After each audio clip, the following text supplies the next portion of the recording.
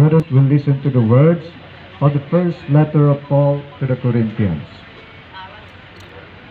We are God's co-workers. You are God's field, God's building. According to the grace of God given to me, like a wise master builder, I lay a foundation, and another is building upon it. But each one must be careful how he builds upon it. For no one can lay a foundation other than the one that is there, namely Jesus Christ. The Lord.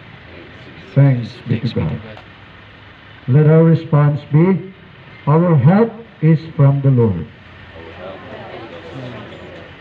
I lift up my eyes toward the mountains, whence shall help come to me? My help is from the Lord who made heaven and earth.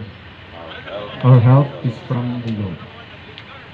May he not suffer, indeed, he neither slumbers nor sleeps, the guardian of Israel.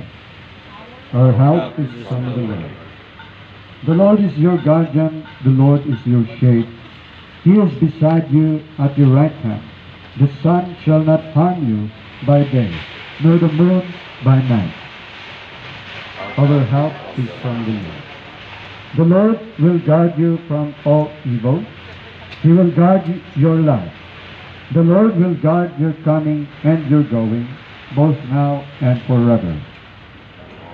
Our help is from the Lord. For a moment of silence, we